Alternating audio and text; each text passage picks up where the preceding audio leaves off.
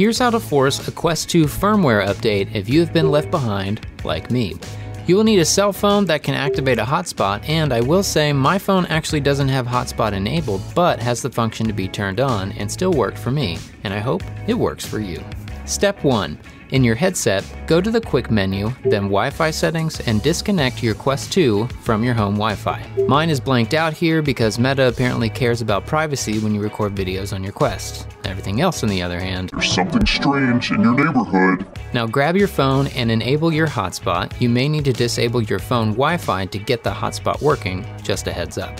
Go back into your headset and now connect your Quest to your phone's hotspot network. It is often named after your phone name, like the default network name iPhone for Apple users. Then go to Settings and then the System menu and check the Update tab again. And with the Quest gods on your side, you'll see the No Updates Available box turn to pure gold saying Update Now. After this, I changed my Wi Fi back to my regular network to download the update, which can take a while by the way, and then I installed it. I hope this worked for you. I know getting a hotspot connected can be finicky at times, so give it a couple tries if it doesn't work at first, and happy updating. I'll catch you in the next quickie.